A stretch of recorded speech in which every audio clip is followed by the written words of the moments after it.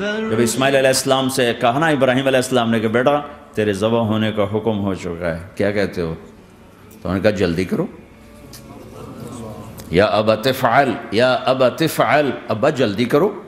تو ابراہیم سمجھے کہ شاید یہ پتہ نہیں چلا اس کہ بیٹا، تمہیں خبر ہے، میں کیا کہہ رہا ہوں؟ کہاں خبر ہے۔ بڑا اچھا سودا ہے۔ آپ کے بدلے میں اللہ مل جائے گا۔ اللہ آپ سے زیادہ بہتر ہے۔ دنیا کے بدلے میں جنت ملے گی، جنت دنیا سے بہتر ہے۔ پھر معصوم بچوں کو خیال ہاں میری ماں کو ضرور تکلیف ہوگی۔ تو اپنا کرتا اتارا اور اپنے باپ کو دیا کہ یہ کرتا آپ نے میری اماں کو دینا ہے۔ جب مجھے کبھی یاد کرے گی تو میرا کرتا دیکھ لیا کرے گی، تسلی ہو جائے گی۔ اور آپ نے اپنے کرتے میں مجھے کفن دے کے ادھر ہی دفن کر دینا ہے، ادھر نہیں لے جانا۔ وہ مکے کی طرف کہ میری ماں کو وہاں تکلیف ہوگی، میرا کٹا سر دیکھ کر بغیر سر کے پورا دھڑ وہ اس کو تکلیف ہوگی۔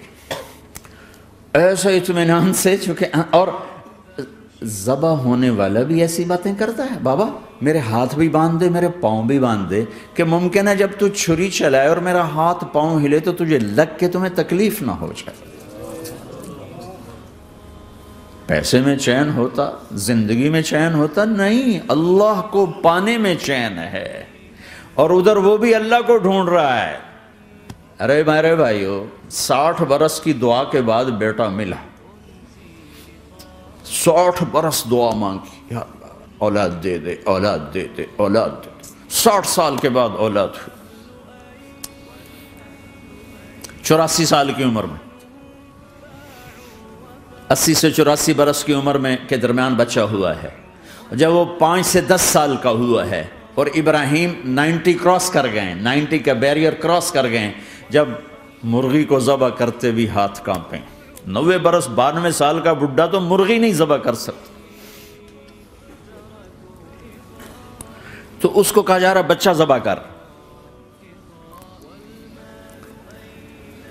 مینا کے پہاڑ سختہ تاری ہے، ہوائیں تھم چکی ہے سورج مدہوش ہو رہا ہے۔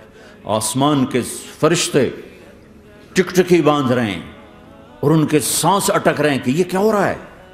کیا یہ بوڑھا کر جائے گا؟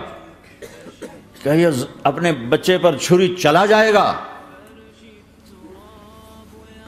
باندھ رہے ہیں ہاتھ اور پاؤں۔ اور پھر بچے نے کہا تھا مجھے الٹا لٹانا، سیدھا نہ لٹانا، کہیں تیری نظر پڑے میرے چہرے پر اور پھر تو رک جائے۔ نہیں نہیں نہیں، سیدھا، الٹا۔ تلہ للجبین۔ اسماعیل کی وصیت کو قرآن نے بیان کیا۔ ماتھا۔ ہے ان کے گھٹنے کو ان کی کمر پہ رکھا۔ اور ایسے سر کے بال پکڑے۔ ایک ہاتھ میں چھری، ایک ہاتھ میں سر کے بال۔ اور یوں آسمان کو دیکھا۔ اور یوں تھوڑا سا اوپر اٹھایا نا، تاکہ نیچے سے چھری چلائے۔ وہ چھری چلا کے مطمئن ہے، وہ چھری چلوا کے مطمئن ہے۔ پتہ چلا کہ میری سوچ غلط ہے۔ کسی اور طرف سکون ہے، جہاں میں ڈھونڈ رہا ہوں، وہاں نہیں ہے۔ اپنی مرضی پوری کرنے میں نہیں ہے، اللہ کی مرضی پوری کرنے میں ہے۔ یوں پکڑا، گھٹنا رکھا، یوں دیکھا، آسمان کو دیکھنا تھا کہ فرشتوں کی چیخیں نکل کے اے اللہ ہے کاش وہ مینا کے پہاڑ ہوتے جہاں یہ قصہ ہوا، اب تو حاجیوں کی وجہ سے انہیں توڑنا پڑا۔ اے اللہ، کیا تو مجھ سے ناراض ہو گیا ہے تو یہ سمجھتا ہے کہ اسماعیل کی محبت میرے دل تجھ سے زیادہ ہوگی۔ نہیں نہیں۔ میرے اندر تو ہی تو ہے۔ تیرے سوا کوئی نہیں ہے۔ اور اگر کوئی میرا تو نے امتحان لینا ہے، میں حاضر۔ ایک اسماعیل کیا لاکھوں قربان ہو سکتے، چھری چلا تھی اگر میرا رب صرف دیکھ ہی رہا تھا کہ خلیل کہاں تک جاتا ہے، یاری نبھتی ہے کہ درمیان میں ٹوٹتی ہے۔ ارے تم سے بچوں پہ چھریاں نہیں چلوا رہا، تم سے کہہ رہا غلط کام چھوڑ دو۔